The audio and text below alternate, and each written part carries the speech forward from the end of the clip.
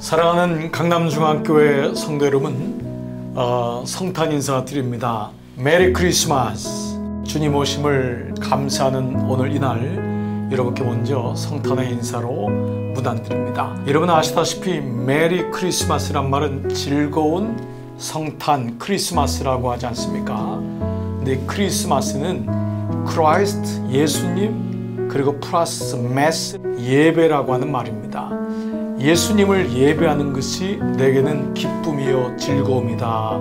이 말이 메리 크리스마스라는 말인데 오늘날은 이제 상업적으로 어, 또 많은 TV에서 사람들이 그냥 아무 생각 없이 메리 크리스마스 하니까 마치 연말을 공휴일로 즐거운 성탄절이라고 하지만은 원래 의미는 Christ Mass 예수님을 예배하는 것이 즐겁습니다.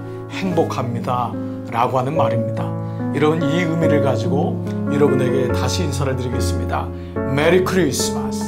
예수님께 예배드리는 것이 기쁨입니다. 여러분 성탄절 어느 때보다도 공고하고 어려운 때이지만 여러분 마음속에 많은 예수님께 예배하는 이 성탄의 참 의미를 놓치지 마시고 지난 주일날 여러분 이 말씀을 드렸죠.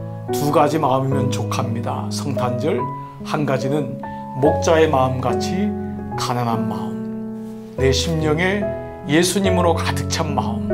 바로 가난한 마음입니다. 때로 복잡하고 어려운 시대를 살고 있지만 여러분 부디 쫓기지 마시고 보챔도 받지 마시고 여러분 안에 예수님이 주시는 평안과 은혜가 가득한 마음. 바로 가난한 마음. 그리고 어느 때보다도 예수님을 더 사랑하는 그 마음. 내게는 주님이 기쁨입니다. 이 두 가지 마음만 있으면 이 어려운 때를 여러분 꼭 은혜로 이겨나가시라 믿습니다. 누가복음 2장 8절 그 지역의 목자들이 밤에 밖에서 자기 양떼를 지키더니 저는 이 말씀이 여러분의 삶의 자리라고 믿습니다. 이런 모두가 내게 맡겨주신 양무리를 치는 자이고 지키는 자입니다.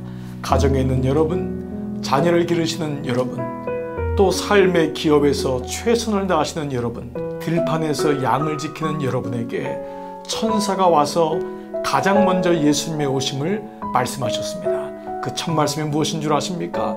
무서워하지 말라. 두려워하지 말라. 그리고 이 기쁨이 어떤 기쁨이냐? 바로 다윗의 동네에 너희를 위하여 구주가 나셨으니 곧 그리스도 주시니라. 이 말씀 이것이 바로 성탄의 메시지인 것입니다. 오늘 이 아침 여러분 모두에게 성탄의 축복이 함께 하시기를 축복합니다. 그리고 성탄 예배를 통하여 송무영신 우리에게 주시는 이 연말의 모든 순간순간들이 하나님을 예배함이 예수 그리스도를 예배함이 즐겁다.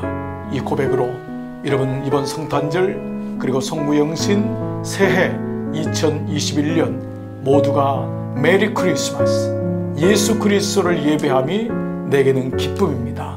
이 고백을 가지고 이번 성탄절의 은혜 가운데 지내시기를 주님의 이름으로 축복합니다.